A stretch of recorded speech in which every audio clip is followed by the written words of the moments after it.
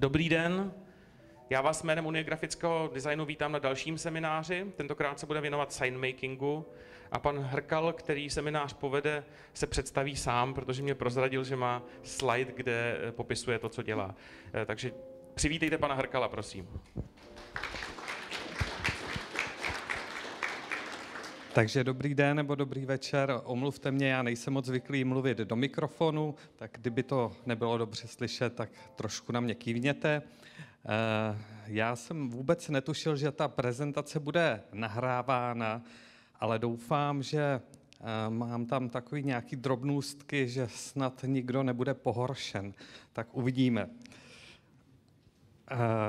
Já bych se na začátku trochu představil, protože byl jsem tady na přednášce a Aleše Najbrta a to je taková profláklá osoba, který, kterou každý zná, tak eh, vám promítnu asi čtyři nebo pět slajdů něco o sobě.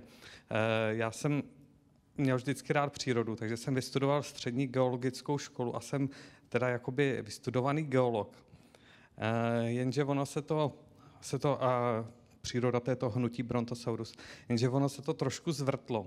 Já už jsem v prvním ročníku objevil, že existují počítače. Tehdy byly takovýhle. Uh, oni měli strašně malou paměť, jenom jsem si tak pro zajímavost počítal, že tady ta prezentace, co tady dneska mám, by se vešla tak do 70 tady těch počítačů. Jo? Takže uh, to. A když jsem ten počítač objevil u jednoho svého známého, tak to byl pro mě tak velký jakoby kulturní šok nebo poznání nových obzorů, že se ze mě stal ajťák. Jo?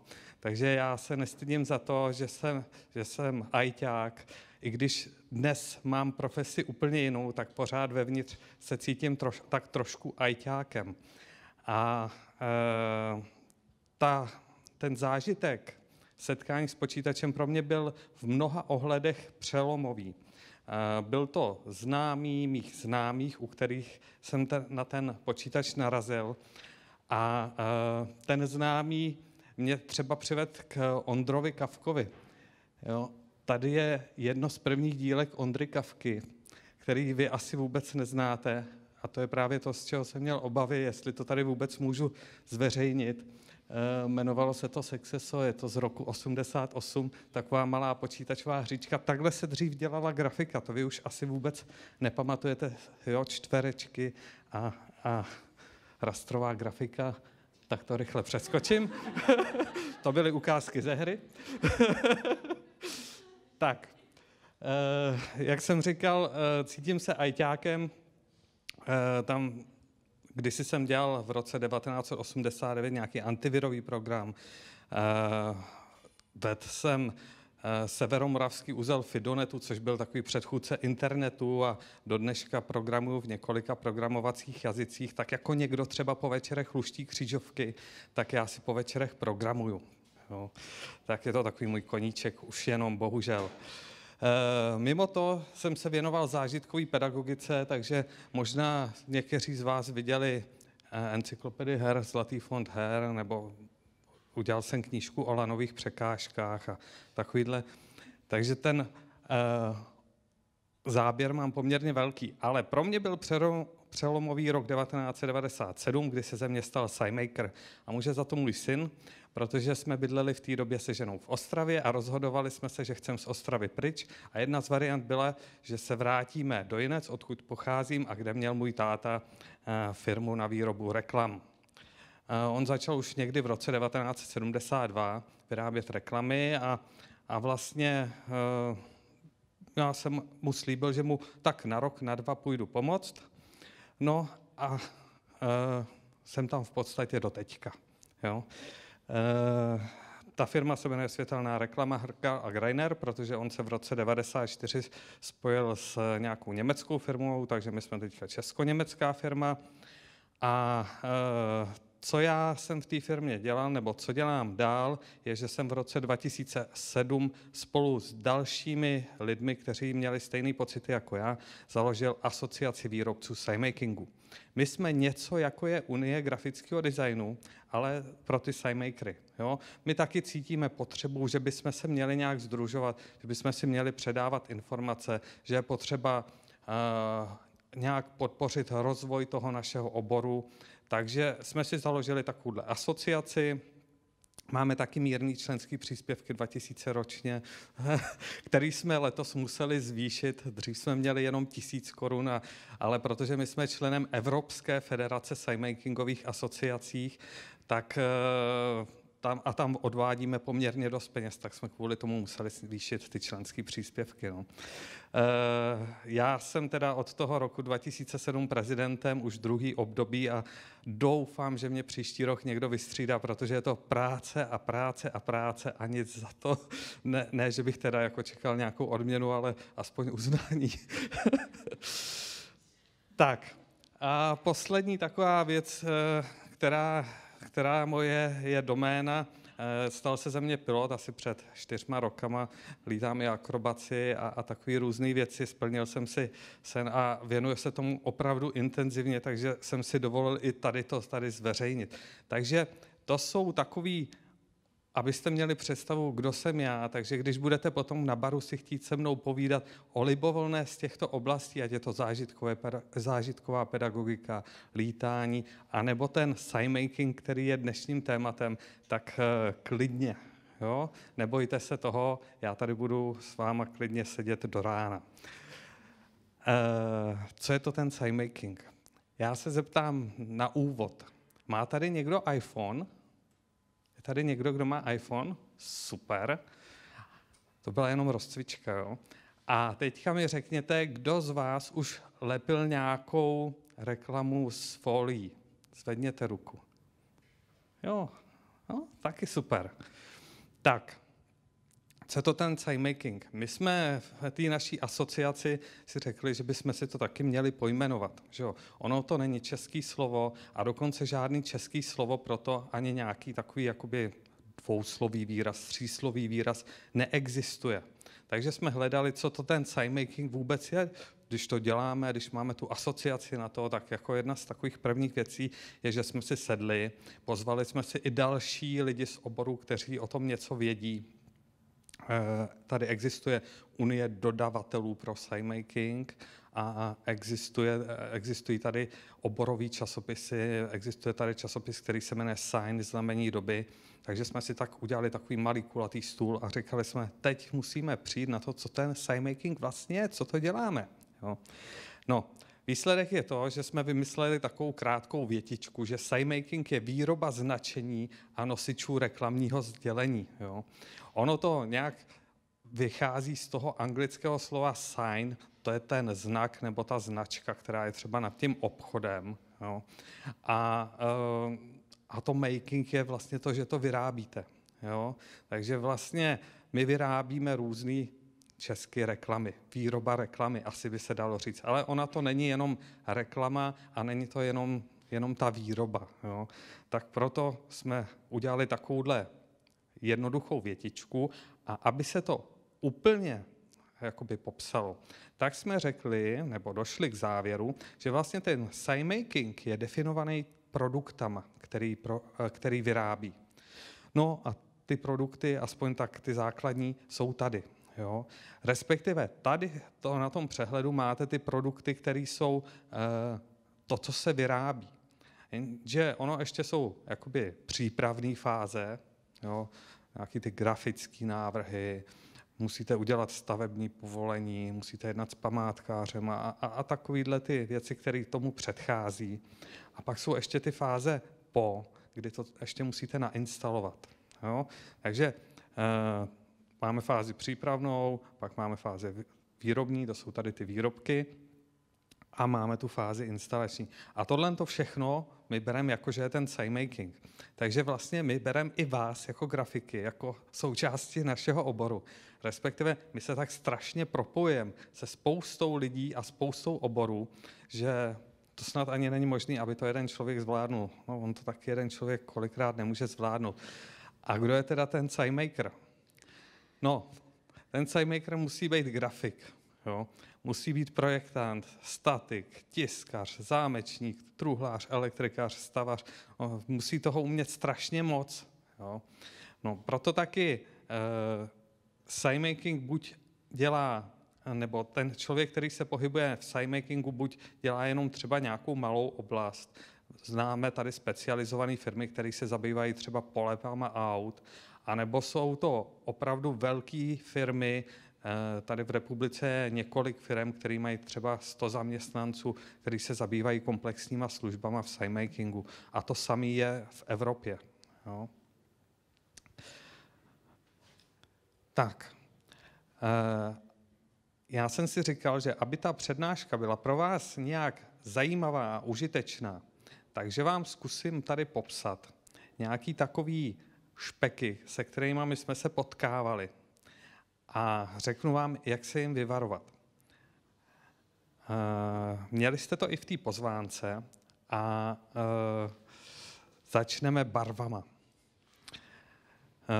proč je špatná černá, hnědá, modrá, červená a zlatá barva? Víte někdo, proč je, nebo tušíte, proč je někdo špatná černá barva? Ne.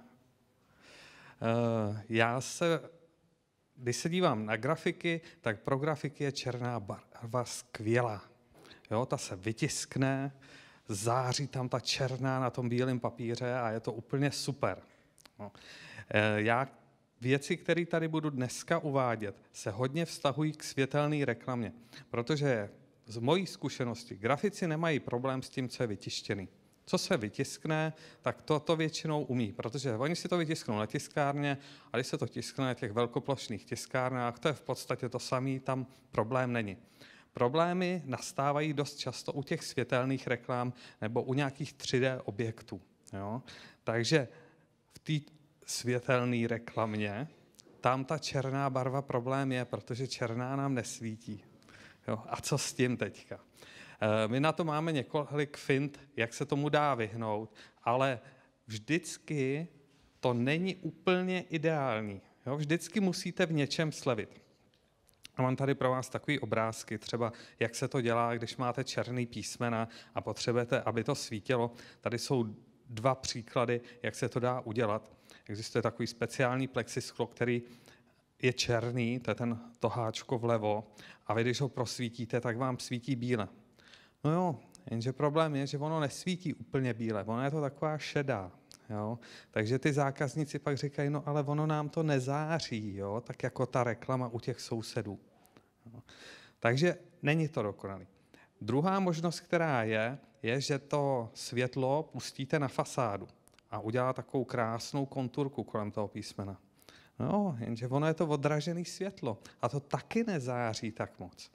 Naštěstí pokud nemáte úplně přesvětlený okolí, tak tohle řešení třeba působí takovým velice solidním a decentním dojmem. Jo? Takže takový solidní klient typu banka jo? nebo prostě něco takového, myslím, že pro ně je to úplně vhodné řešení. Jo? Takže tam to není až tak špatný jo? v některých případech. Eh, existuje další řešení, kdy můžete udělat kolem těch písmen bílou konturu. Jo? Jenže pak za váma přijde klient a řekne, no jo, jenže my tu bílou konturu nemáme v logomanuálu. My ji tam nechcem. Jo? Jo?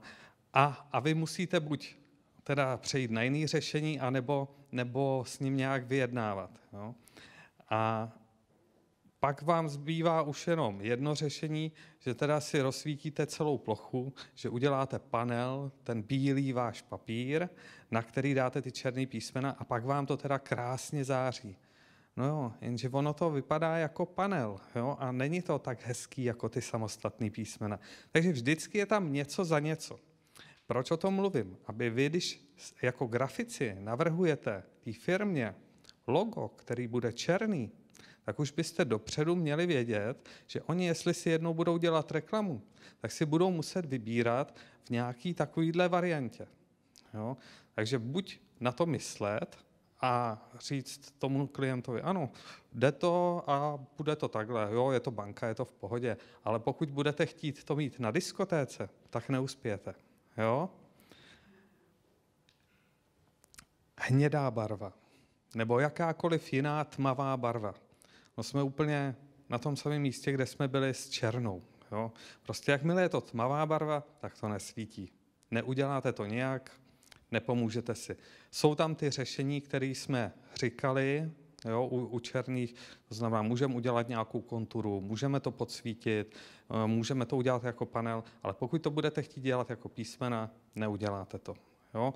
Nebude vám to svítit. Takže taky, pokud navrhujete cokoliv tmavého, pozor na to. Eh, já jsem vám tady dal jako tip, mm, udělejte inverzní řešení. Jo?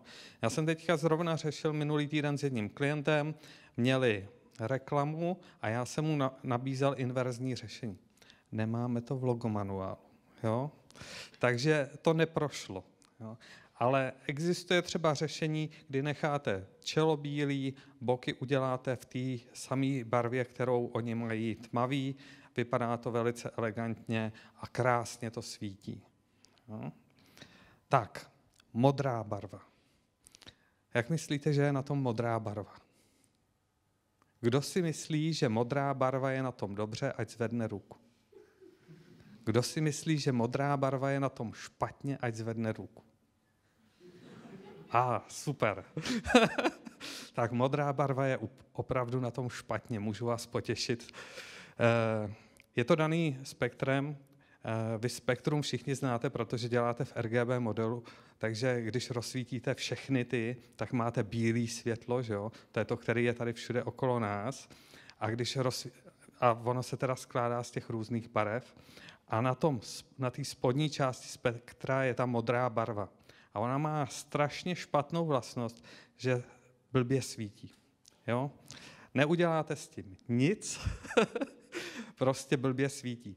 Eh, pan Hilton, co má ten řetězec hotelu, se tomu vyhnul kdysi takovým šikovným fíglem, že si nechal na zakázku udělat, tak jako jsme tam viděli to plexisklo black and white, co je černý normálně a bíle svítí, tak on si nechal udělat blue and white. Dokonce i tady v Praze na Hiltonu to, to bylo jo, použitý. Uh, jinde jsem to neviděl. My za, za tu dobu, co, co dělám ve firmě, jsme tohle plexisklo nikdy nepoužili, protože je extrémně drahý a nikdo to v podstatě nechtěl. Takže řeší se to zase klasicky buď se to nechá svítit tak, jak to svítí, nebo se udělá kontura bílá, jo, nebo se to podsvítí. Prostě ex- existují, my máme jako výrobci, protože to děláme dlouho a známe ty finty, tak máme několik takových fint v rukávu, který postupně taháme a když nám zákazník řekne, a podsvítit to nechci, tak my vytáhneme. A kontura, co byste říkal? Kontuře, no to by šlo. A neměli byste tam ještě něco? No a ještě bychom tady měli třeba neonová trubice po obvodě. Jo, jo, to by se mi líbilo, to svítí hodně. Jo. Takže existují pár takových fint. Tak, co myslíte červená barva? Jak na tom bude červená? Kdo si myslí, že červená je na tom dobře? Tak, hodně. Kdo si myslí, že červená je na tom špatně? Tak. tak červená barva, tím, že je na té horní části spektra, je na tom dobře. Ta svítí hodně. Dokonce, když vyfotíte foťákem na automatiku, tak vám to takhle přepálí. Jo? Musíte fotit manuálem, jinak to budete mít přepálený. Jo? Červená je skvělá barva pro výrobce reklamy. Pokud máte červenou reklamu, není problém. Zákazník je vždycky spokojený. Ale červená barva má taky jednu nevýhodu. Nevýhoda je, pokud používáte červenou barvu s nějakou jinou a nejhůř s modrou. Jo. Tady jsem vám ukázal uh, jednu reklamu, co jsme dělali. Je tam červená barva a modrá barva. Ta uh, červená barva září úplně nádherně. Ta modrá je taková temná. Jo. Řeší se to, zase se to dá nějak řešit. Musíte tam dát mnohem víc osvětlení do toho modrého, než do toho červeného, abyste to vybalancovali. Ale je to zase vždycky na úkor něco, něco s něčím. Jo? Takže vy jste tam viděli, já to vrátím, spektrum, jo, který začíná který začíná, tady by měla být ta modrá, jo, modrofialová, modrá až zelená, červená, tak tady to svítí málo, tady už začíná to svítit dobře a tady to svítí skvěle. Tak pokud budete kombinovat barvy na opačném konci spektra, tak budete mít problém. Samozřejmě existují různý modrý, šo? to vy víte, že existuje, já nevím, třeba azurová, která, která je světlonká, tak ta bude svítit líp než nějaká tmavší modrá a vždycky, vždycky je tam nějaký, nějaký potenciál, není barva jako barva. A, a, takže nedá se to úplně jakoby paušalizovat. Ale každopádně červená vám vždycky bude svítit hodně a modrá vám bude svítit vždycky málo. Takže pokud kombinujete do loga, pokud byste chtěli rozsvítit československou vlajku, tak to je špatný. To je špatný, to je oříšek. Jo? Já jsem řekl Československu. No, já jsem narozený v roce 71, tak, tak mi to promiňte. tak. Eh, další problémy, který, který potkáváme. Tenký řezy písmem, stínování, prolínání, 3D efekty. Tenký řezy, to je teďka posledních pár let strašná moda všechno dělat v tenkých řezech. Jo? E, někdo s tím před pár lety vyjel a, a všude se to najednou začalo používat různý tenký řezy. Tohle to je třeba ukázka nějakého informačního systému, který je vyroben z Mosazy. A můžu vám říct, že udělat ty malinký písmenka, to ND je asi takhle velký. Udělat to z té Mosazy, aby vám ta nožička neupadla a aby to drželo, je opravdu oříšek. Jo? A zvlášť, to je tuším v hotelu Praha, tam to je pro, pro výrobce tenký řezy jsou špatný. Jo? A nejenom, nejenom uh, v tady tom, ale třeba když děláte pak světel, ops, pardon, světelný písmena. Te, řešil jsem před 14 dny, jsem dělal někomu reklamu, vzal jsem tady na ukázku jedno písmeno, byly to 30 cm velký písmena a ta nožička je tlustá 16 mm. Představte si, že do těch 16 mm máte vložit nějaký zdroj osvětlení. Existují, existují opravdu tenký diody, které jsou třeba 1 cm tlustý jo, a dají se tam dát, ale je to Není to dobrý, není to dobrý a hlavně, když pak uděláte tu plastiku, jo, když uděláte to plastický písmeno, já nevím, jestli je to dobře vidět tady na tom, asi trochu, jo, tak to písmeno působí strašně humpolácky. Jo. A vy, abyste tam udělali nějaký rozptyl toho světla, abyste tam měli bodový ty diody, tak zase potřebujete mít určitou hloubku toho písmena. Jo. Takže e, s tenkýma řezama my, my, jako, my vás nemáme moc rádi, jo? co navrhujete tenký řezy. Když nám přijde zákazník a, a má, má logo eh, v tenkých řezech, tak my, my jako nejsme moc rádi. Eh, většinou to nedopadne dobře, že buď nejsme spokojení my, když, anebo není spokojený ten zákazník. Někdy se to taky podaří, dají se udělat jako i dobré věci v tady tom, ale, ale je, to, je to poměrně náročný. Takže když budete navrhovat eh, zákazníkovi takovýhle logos, takovýhle písmem, tak eh, počítejte, že může taky dojít k tomu, že přijde k tomu výrobci reklam a on vám ten tenkej řez stlustí, aby se tam vešel. A nebude to vůbec vypadat tak jak, tak, jak jste si to vymysleli vy, protože on se tam třeba s tou neonovou trubicí nebo s něčím, on se tam nevejde. Jo? Tak on co udělá? Tak vám zvětší tloušku. A vy jste si vymysleli takový krásný logo s tenkýma řezama. No a na, na baráku bude vyset úplně něco jiného. Jo? Takže eh, tady taky nastává úskalí stínování.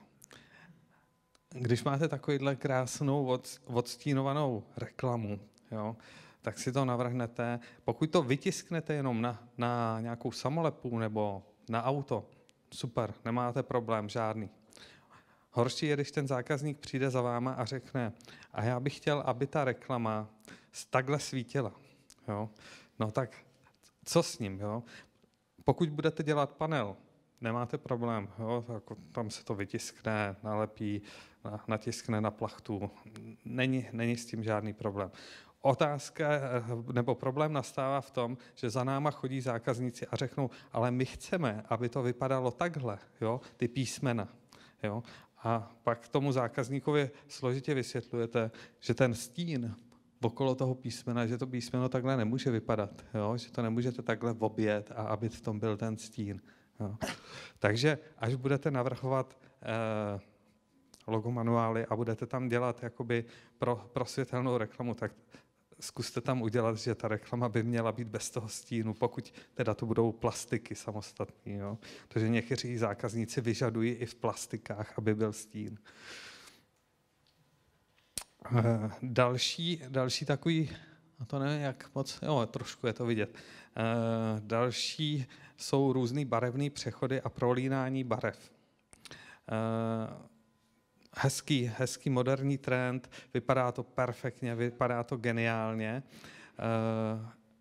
A mně se to taky líbí. Jo, to, taky jsme pár takových věcí zrealizovali, ale vy tomu zákazníkovi dopředu tím, tímhle tím, co jste si vymysleli, říkáte, no, e, takovouhle reklamu, když vám vyrobí, tak ta reklama bude muset mít něco v čele natištěného, jo, a tím, že to bude natištěný, tak životnost toho tisku je, když to dobře dopadne, řekněme pět let, jakou máte vyzkušenost, jak vydrží dlouho tisky? Pět let, tři roky, pět let, jo? když to dobře dopadne pět let, a po pěti letech to budete muset vyměnit. E, my děláme ty reklamy tak, že zákazníci se nám vrací po desíti letech, ale vrací se nám spokojený. Jo? Takže když se to udělá jednobarevný, vydrží to opravdu těch deset let. Jo?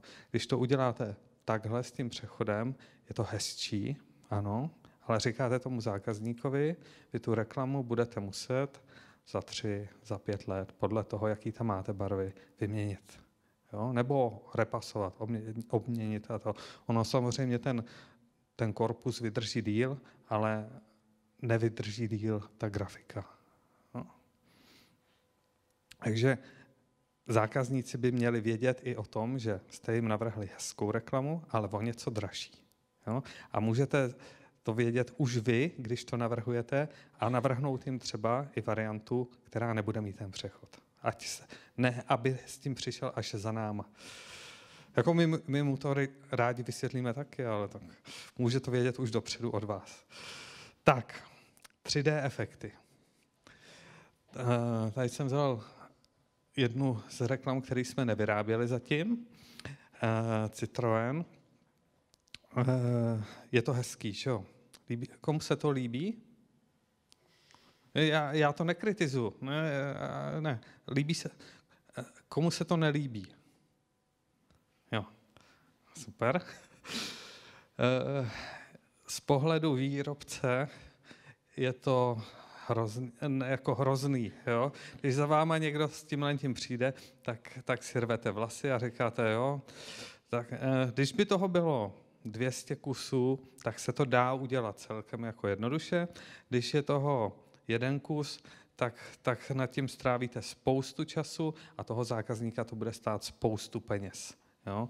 Takže e, zase navrhnete tady to, je to elegant, je to jako zajímavý, e, někomu se, ten zákazník bude nadšený, jakou má moderní reklamu s 3D prvkama, ale zase vy mu vymýšlíte něco, co ho bude stát hodně peněz. Jo? Takže pokud 3D prvky, tak eh, aspoň udělat variantu pro světelnou reklamu, kde to třeba nebude, nebo se to bude nějak nahrazovat. Ten Citroen ten si to dovolit může, ale uh, Franta Vomáčka, co tady bude mít nějaký diskoklub nebo nějaký masážní salon, tak ten, ten asi ne. Jo? Tak, eh, tady je jenom ukázka, kdy jsme to teda pro někoho dělali, eh, tuhle tu opičárnu, že jsme to, že to chtěli vyrobit, my jsme se teda s tím popasovali, Vidíte, že se to dá udělat. Neříkám, že se to nedá udělat. Tohle je přímo z Nerezu, tohle logo, je to podsvícený zase nad nějakou odrazovou desku a uh, klient byl spokojený. Jo? Udělat se to dá, ale stálo to poměrně dost peněz. Uh, Mazda, ta na to má, ta si to může dovolit. Jo? Uh, velikost písmen. Eh, já věřím tomu, že vy, když děláte návrhy, že máte představu eh, písmo 8 bodů, že jako malinký, jo, když to bude 24 bodů, tak jo, to je nějaký velký titulek a, a takhle. No a když pak navrhujete reklamy, tak najednou musíte přijít na to, že tam se to počítá úplně jinak. Jo? Jak se to počítá? No, pokud nemáte tu zkušenost, tak se to počítá strašně jednoduše tak, že si to uděláte vzorek a dáte si to na to místo. Tohle jsme dělali pro nějakého klienta a ten eh, klient měl představu, že to písmo musí být maximálně metr vysoký. My jsme mu tvrdili, že metr vysoký bude na tu vzdálenost, co on to chce, aby to bylo při, přeč, k přečtení, to je nad harfou, takže to je malý.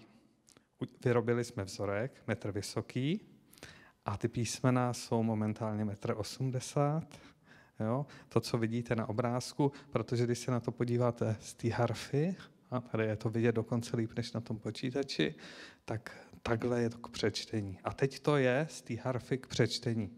Když by to bylo metrový, tak byste ten nápis nepřečetli. Jo? Takže eh, to platí i u menších věcí, je dobrý si udělat vzorek a říct si, jaká je pozorovací vzdálenost.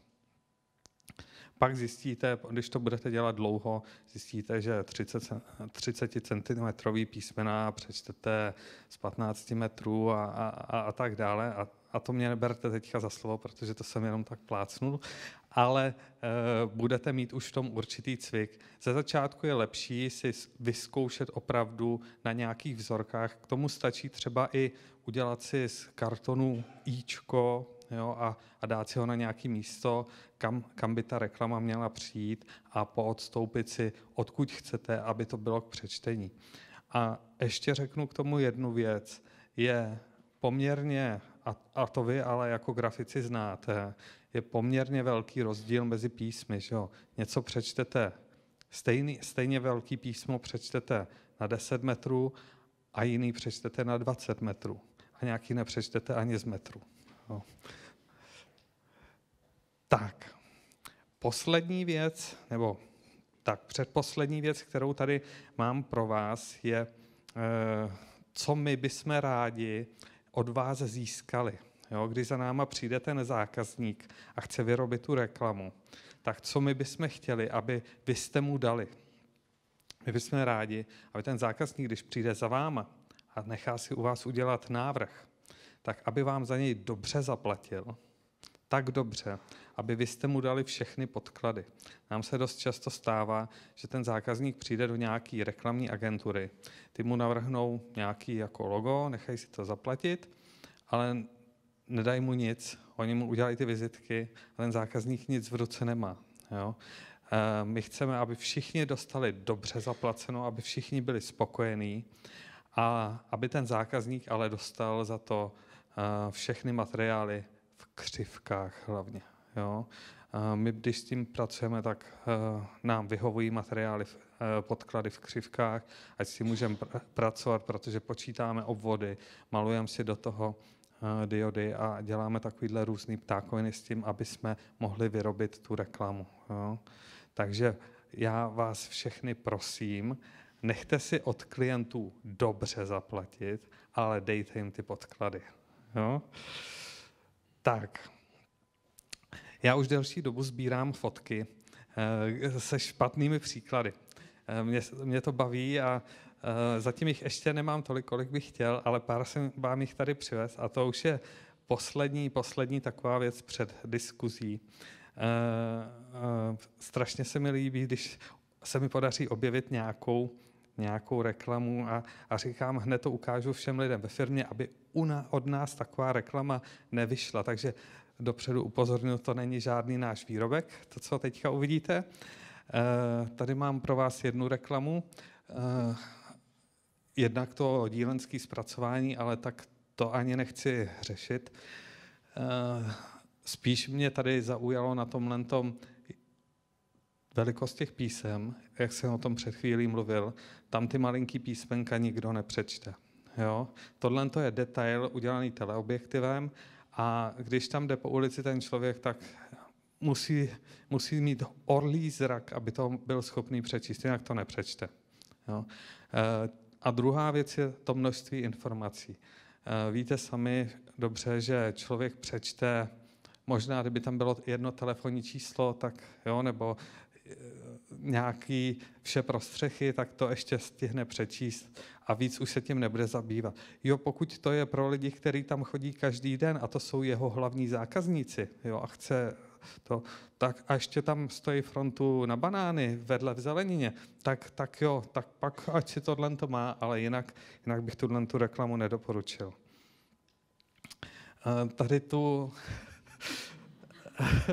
tady na té benzince vy byste asi nenatankovali nikdo. A to je jedna z takových věcí, která já říkám zákazníkům dokola a dokola. A oni na to až tak moc neslyší, je, je mi to ku podivu, e, že reklama musí vždycky vypadat jako nová, a ti umývají, a ti e, prostě opečovávají. E, že to je ta jejich reklama, ta, ten stav, jak ta reklama vypadá. Tady jak myslíte, že je ten benzín kvalitní na téhle tý benzínce? Asi, asi moc ne, asi byste tam nejeli. Jo? Já teda určitě ne. Tak, tady mám jednu, a výborně, tak tady na, ty, na, na téhle tý projekci to vypadá líp, než uh, když jsem si to tisknul nebo na, na mém počítači. Uh, uh, já jsem jenom uh, tady chtěl ukázat, že vlastně ta oranžová, oranžovo-bílá kombinace, my se vždycky snažíme udělat co největší kontrast. Jo? Protože ten kontrast, to je to, co v té reklamě upoutá. Jakmile je něco kontrastního, tak to upoutává. Eh, stejně jako máte určitý barevný vzory, který, který spolehlivě fungují, že jo, eh, který, která kombinace dvou barev nejvíc upoutá? Černá, červená? Žlutá, modrá? Červená, žlutá? Červená, bílá. Tak eh, byly na to výzkumy a nej, nejvýraznější kombinace je žlutá a černá. Jo? Žluto-černá signalizuje to nebezpečí, známe vosy, že jo, různý jedovatý žáby a, a takovýhle. To je nejvýraznější kombinace, která se umístila na, na prvním místě. Všechny e, tam ty jsou pak v nějakém pořadí, někde bych možná tu studii ještě našel, ale opravdu žluto-černá je jakoby nejvýraznější, která nejvíc upoutá pozornost. A e, tam je ten kontrast veliký. Tady já třeba bych jim doporučil ještě udělat malinkou černou konturu kolem těch bílých písmen, protože ta deska, eh, zvlášť když eh, se udělají tisky, tak u tisků první vybledne eh, červená barva. Že jo? Takže tady z tohohle toho tisku, když jsem to fotil, už, už bylo, ta oranžová byla taková hodně světlá, protože z toho vybledla ta červená barva a kdyby tam byla ta černá konturka, tak by to bylo furt krásně čitelný. Tady to je čitelný líp, než to bylo ve skutečnosti. Eh, pro zájemce pak předvedu na, na notebooku, jak to vypadalo doopravdu. Tady, tady to je vidět krásně, že, že to splývají ty dvě barvy. Jo?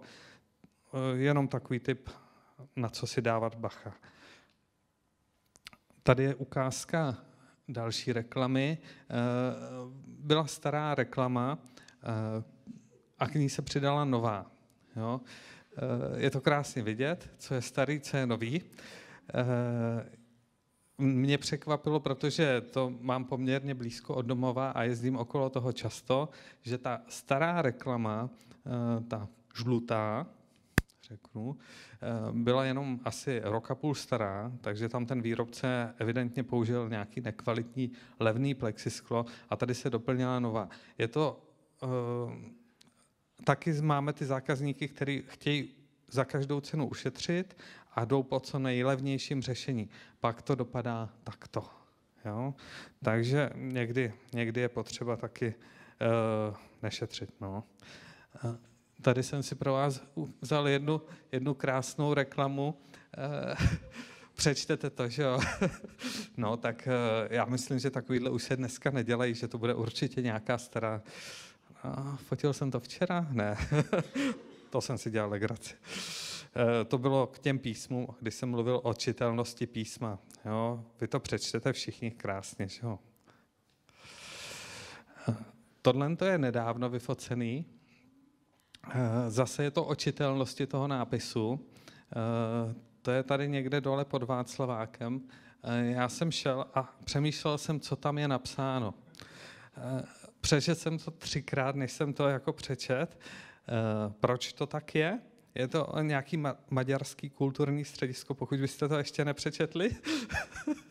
Eh, to jsou mosazný písmena, které mají mosazný boky a čelo. Na tom mosazném čele je maďarská trikolora. Jo? E, problém tady v tomhle případě je, že ty písmena mají poměrně velkou hloubku, takže splývá, splývá to ten bok mosazný s tím mosazným čelem a ještě navíc se do toho opírá sluníčko a tím, že vlastně to má velkou hloubku, tak to hází velký stín. Takže to celý splývá dohromady. Eh, tady by byla celkem jednoduchá pomoc od toho, kdyby eh, ty boky nebyly mosazný. Jo, kdyby byly jiný, nebo to čelo, kdyby bylo jiný, pak by to bylo výrazný, nebo kdyby se tam udělala ještě nějaká konturka. Jo jenom takový tip, kdybyste na to někdy narazili.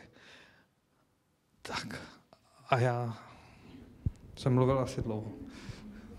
Já budu mít v ruce mikrofon, začnu jednou otázkou. Mohl byste nám popsat, pane Herkale, nejlepší způsob spolupráce s grafickými designéry? Máme jít třeba nejdřív za vás s nějakou obecnou konzultací, nebo máme přinést už návrh? Co je pro vás nejlepší metoda spolupráce? Uh, ono je to různý. Jo, to, to je jak kdy uh, a závisí taky na té firmě. Třeba na, uh, já budu říkat ze svých zkušeností. My ve firmě nemáme grafika. Jo? My jsme výrobci a nemáme jakoby grafika na plný úvazek ve firmě. Máme několik spolupracujících grafiků, se kterými spolupracujeme a pak se na nás obrací různý grafický studia. Jo? Ono většinou se to ty lidi naučí časem, jo? Že, že už vědí. Pro nás je opravdu nejlepší, když přijde ten, uh, ten grafik a má představu. Jo? Protože my, my rádi eh, zase máme, když přijde někdo s představou a my mu řekneme, tohle to jde, tohle to nejde, tak jako jsem vám to tady dneska vykládal, jo, modrý, mm, pozor na to, to bude špatně svítit. Jo? Uh, černá, jo, jo, máme tyhle ty možnosti, jak to udělat. Jo? Takže ano, nám vyhovuje, nám vyhovuje, pokud přijde e, grafik a přinese nějakou představu. Jo? A my mu pak poradíme, co s tím. Má někdo dotaz na pana Hrkala? Já vám přinesu mikrofon. Mě jenom zajímalo, jak jste na začátku zmiňoval, že vlastně úplně ze začátku musí, konzultujete ty i s architektama nebo s památkářema, mm-hmm. tak na ty památkáři, jak moc je to tam intenzivní. Protože přece jenom některé ty značky jsou tak příšerný, že si říkám, že by bylo dobrý, kdyby to někdo někdy s někým konzultoval, ale nemám ten pocit, že by to tak bylo. Tak jak moc se tohle musí třeba dodržovat nebo... Eh, já nevím, kolik těch reklam, které třeba jsou v Praze, jsou povolený jo, v památkové zóně. Můj odhad je 10%. No. A my jsme pro několik klientů, kteří eh, byli tak jakoby solidní nebo chtěli to mít v pořádku, tak jsme to vyřizovali. Eh, jednání s památkovým úřadem jsou obtížná, eh, ale dá se, dá se dost často najít řešení, které vyhovuje oběma stranám. Jo. Eh, památkáři mnohdy mají představu, že to nejde vůbec, jo. Eh, někdy to jde. Jo. Eh, jde, jde o nějaký určitý kompromis. Já si myslím, že většina těch věcí, které vidíte v Praze, nejsou povolený. Jo, nešli přes památkáře. No, on ten proces je poměrně náročný. No. Zodpověděl jsem to? Hm. Než se najde další dotaz, já mám na vás ještě jeden. Eh, vy jste říkal, že nejlepší je změřit si ty písmena třeba na velkých fasádách, takže se tam udělá maketa. Nestačí Photoshop a zručná maketa, kterou, kde si pak odměříte třeba podle velikosti fasádních prvků, že ty písmena mají 1,80 m? Nebo nemáte na to dokonce nějaký 3D programy, které vám předvedou, jak to bude vypadat v noci, jak to bude vypadat při východu slunce, jak při západu slunce, se zohledněním hloubky těch písmen a tak dále? Um, my, my na to programy nemáme. Jsou samozřejmě někteří, některé firmy, které to dokáží vymodelovat. Uh, my jsme poměrně malá firma, my máme asi 25 lidí, takže a, a většina z nich je ve výrobě, takže uh, nemáme na to kapacitu, aby jsme tyhle ty modely uh, pro zákazníky dělali. Ale já si myslím, že to nejde takhle, jak vy to říkáte. Jo? Že přeci jenom, když to uvidíte na tom obrázku, tak je něco jiného, než to uvidíte, když to uvidíte v tom 3D, v tom reálu. Jo. Opravdu se nám osvědčilo, že nejlepší řešení pro toho klienta, protože ten je, který nakonec řekne, jak to má být velký. Vy, vy mu to navrhnete, ale ten klient to musí rozhodnout, že s tím souhlasí, že tak to má být velký. Jo. Tak nejlepší řešení pro toho klienta je dát mu tam něco a nechat ho posoudit, jestli mu to vyhovuje nebo ne. Eh, nestojí to tolik času, nestojí to skoro nic peněz a, a myslím si, že, že jako je to nejlepší řešení. Má někdo další dotaz k signmakingu, k výrobě reklam? Já mám ještě jeden, já mám ještě plno. já jsem si všiml na dálnici asi jako každý, že často bývají eh, reklamy z folí, které svítějí mm-hmm. A všiml jsem si taky, že ne vždycky to na té reklamě udělané chytře, že někde svítí třeba jenom kus sloganu a ta věc pak v noci nedává smysl. Ale zajímalo by mě, jestli jsou ty folie i nějak e, třeba barevný, protože jsem si všiml, že to svítí jenom bílé, jestli se dělají třeba nějaký, že by se s tím dalo víc pracovat a víc využít toho nočního osvětlení. Tak folie se dělají uh, v několika základních barvách, uh, řeknu dvě zelený, dvě modrý, dvě žlutý, dvě červený, prostě ta, takhle, taková je ta základní barevná škála. Pak existuje speciální folie, která se dá potisknout. Jo? Takže vy můžete na to i něco natisknout. Není to až tak jakoby úplně super, jak, jak tyhle ty, ty přímo od výrobce, ale, ale jde to. Jde to. Můžu ještě jeden dotaz? Já se asi nejčastěji setkávám s vaším oborem s eh, polepem automobilů. Mm-hmm. A naštěstí zatím jsem spolupracoval s firmou, který v podstatě stačily skici a oni už si to zrealizovali eh, po svém. Jakou metodu vy máte na auta? Vy máte databázi všech 3D modelů? Nebo jak to vlastně funguje? Co je pro vás nejlepší od grafika dostat a jak ta spolupráce běží? Eh, zase záleží na té firmě, jak moc se tomu věnuje. Že jo, jsou specialisti na na auta, který dělají jenom autopolepy a ty asi budou nejradši, když jim řeknete, chceme, aby tam byla nějaká tráva a aby tam byl slogan uh, s, naším, s našimi semeny dobře pochodíte. Já jsem to nechtěl říct takhle, tak už to je. Uh, a a on si to všechno navrhne sám a vy nemáte žádnou práci, ale nedostanete za to nic zaplaceno, protože jste nic neudělali a tak pokud budete jako agentura, tak dostanete nějakou agenturní provizi. Jo? A zase jsou jiní, kteří třeba vyrábí to, Uh, umí taky polepovat ty auta, dělají ty polepy, ale nejsou třeba tak zruční grafici, takže ty přivítají, že jim přinesete už už svoji vizi nebo nějaký podklady. Jo. My třeba máme databázi automobilů, eh, to, to je, dá se to koupit, Jo, je to normálně, normálně produkt, který eh, zakoupíte v obchodech pro SciMakery, eh, mají CD se všemi aktuálními a, a historickými modely, takže to zakoupíte. Nám se osvědčilo, že teda většinou ještě si to auto nafotíme a dáváme to přímo jakoby na něj, jo? nebo před, předchystává se to jakoby na fotce toho auta. Jo? A, a pak se to, pak se to do, dodělává na míru. No. Oba přístupy jsou možný. Vidím jeden dotaz, přenesu vám mikrofon. Vlastně můj dotaz souvisí ještě s těma uh, billboardama kolem silnic s tou uh, reflexní reklamou. Často jí dávám tištěný billboardy, který vlastně ale v noci mají třeba nějakou část uh, reflexní. Jak je to technologicky vyráběný? Přelepuje se ten billboard normálně reflexní folií, nebo neexistuje nějaká technologie velkoplošky, že by byla schopná reflexní barvu? Není to tak? Ne, nevím o tom, že by to šlo. Jo? Hmm. Přelepuje se to normálně reflexní folií.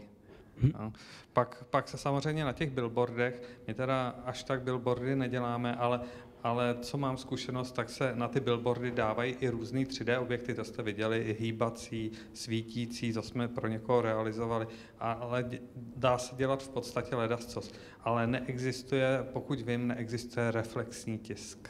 Hm, děkuji. Hmm. Já bych měl dotaz taky ještě k těm polepům aut, když to vlastně není přímo polep, jsem si nedávno všimnul, že jakoby auto bylo oblečené do takového hábitu, jakoby, který evokoval trávu, mm-hmm. tak se chci optat, jestli s tím máte zkušenosti, jestli to se dá normálně takhle, jakoby, jestli je to tam nalepený z druhé strany nebo na nějakém magnetu, a jestli to třeba potřebuje pak nějakou homologaci, aby to vůbec mohlo na silnici, nebo to musí jenom stát prostě někde zaparkovaný. Tak eh, já jsem to neviděl, tak ne, nevím, jak, jak, jak to vypadalo, ale uh, můžu vám říct uh, třeba zkušenosti s magnetickými foliemi. Uh, magnetické folie se dělají na auta, to, to asi znáte, to jste možná někdy viděli. Uh, my máme zkušenost, že tyhle ty magnety vydrží Eh, i, i třeba na dálnici, jo, do těch 130 km, jako tam, tam drží. Když byste jeli pak rychlejš, tak vám uletí. Jo. Takže my třeba klientům doporučujeme, doporučujeme e, ty magnety používat ve městě bez problému, mimo město je radši sundavat. Jo. E, je to Eh, je to opravdu to. Neviděl jsem takhle tu trávu, že by byla jakoby na autě nandaná, ale uh, myslím si, že asi jezdit se s tím nedalo. No pravda, že já jsem ho viděl jenom za parkování, tak proto jsem se optal. No, já nemám, nemám s tím zkušenost a asi, asi bychom to nedokázali. Ale vypadalo to efektivně, to musím teda přiznat. No. Oni vůbec ty celopolepy vypadají zajímavě. Je to uh, novinka posledních, já nevím, pěti let, kdy, kdy se to začalo víc rozšiřovat, protože už jsou poměrně kvalitní folie, uh, tiskne se to uh, momentálně největším hitem, na to je latex, že? a uh, vypadá to ve, velmi zajímavě. Uh, těch aut ještě není až tolik, takže každý si toho všimne. Je to, je to poměrně dobrá reklama, co si myslím. No. A my jsme to třeba kombinovali i s tou reflexní, eh, vychází to ve, velmi zajímavě. Bohužel je to taky vel, velmi drahý. Jo. E, auto, pokud vím, vychází tak kolem 30 tisíc osobák, jo, celopolep, nebo tam někde to začíná 25 až 40, záleží, záleží na, na velikosti toho auta a záleží taky na provedení, protože dá se to udělat různě. Jo? Záleží, jestli třeba ty folie se zastrkávají pod světlomety, nebo se to jenom okolo nich ořízne. Jo? Takže to, to provedení zase může být různě kvalitní. No. Počkejte prosím na mikrofon. Je to důležitý, protože to pak není slyšet. Tak já jsem chtěl doplnit, že co se týče té trávy, tak je to taxík, dvakrát jsem ho potkal na magistrále a jezdí s ním. A to, že je to taxík, to je tak trošku odpověď na tu homologaci, jo.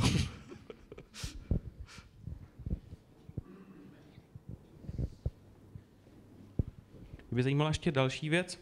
Máte zkušenost s architekty? Eh, jak funguje spolupráce? Protože často nám v úvozovkách fušují do řemesla a navrhují to, co by měl navrhovat spíš zkušený typograf nebo designer a navrhují nápisy často příšerný. Mě by zajímalo, jestli podklady od architektů se nějak třeba zásadně liší od grafiků, nebo naopak jsou lepší, nebo pro vás, myslím, pro, pro výrobce? Eh, zase záleží, je to člověk od člověka, nedá se to říct jakoby paušálně.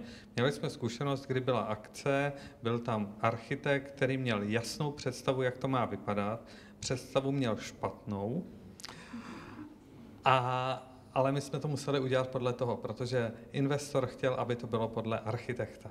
Takže eh, jsme to udělali tak, jak jsme mohli. Jo? Co, co prostě jsme mohli s ním dojednat, ovlivnit, tak tam prostě kam on byl schopný nebo ochoten ustoupit, tak tam se šlo.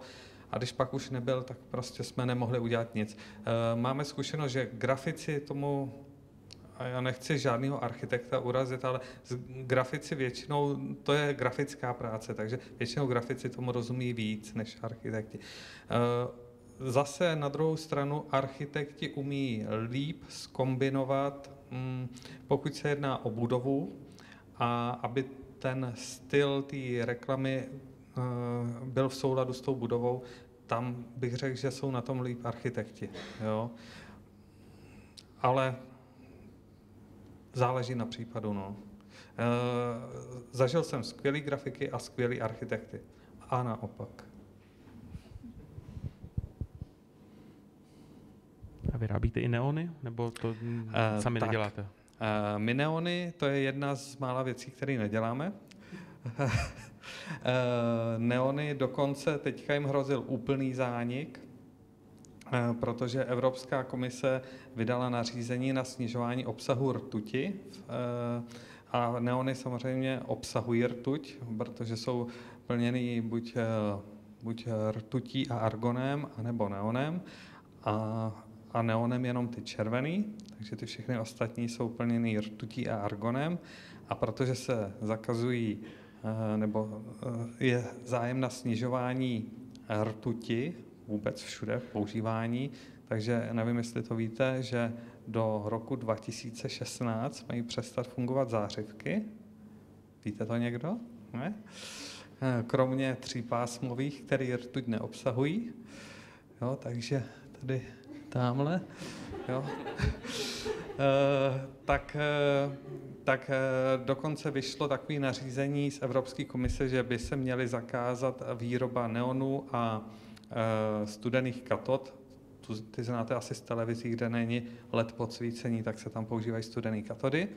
Eh, ta naše Evropská federace sajmakingových asociací začala velmi intenzivně vyjednávat s Evropskou komisí, takže naštěstí pro neony je určitá výjimka z tohohle toho a s tím, že vlastně to je jakoby eh, jak to mám říct, vyjádření Evropské komise a jednotlivé státy by to měly uvést do svých legislativ. Jo? Takže e, zákazu neonu pravděpodobně nedojde je poslední jako stanovisko. Děkuju. Tak poslední příležitost položit ještě nějaký dotaz? Eh, a jenom ještě řeknu k neonům, že v současné době eh, neonových reklam, když bych měl mluvit o osvětlení, dělá už velmi málo. Jo, dřív to bylo téměř dominantní, řekl bych 90% reklam bylo neonových, dneska je to přesně naopak, tak bych řekl možná i míň. A není to cenou? Není to cenou, e, nebo takhle, jde o to, že ledky jsou, e, mají menší spotřebu než neon, cenově jsou o něco levnější už, jo, my jsme zažili doby, kdy byly desetkrát dražší než neon, pětkrát dražší než neon, dvakrát dražší než neon, stejně drahý jak neon, Dneska je to tak, že jsou o něco levnější než neon, mají menší spotřebu než neon. Životnost bych řekl, že v současné době je tak 50-50 jo, s tím neonem. Když je dobře udělaný neon, tak vám vydrží nějakých 5 až 10 let. Když jsou kvalitní ledky, vydrží vám 5 až 10 let. Když nemáte takový ty úplně low-endy čínský. A, a takže, a spotřeba je u ledek menší. Takže hovoří to pro ledky. Navíc eh, ledky dokáže nainstalovat každý. Rozbít neonovou trubici je snadné.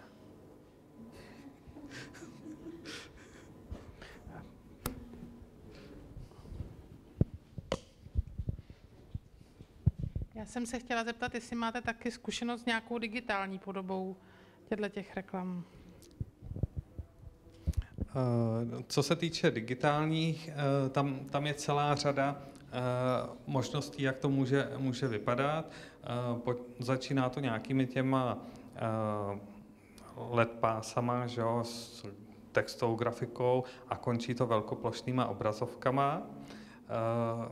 Cena.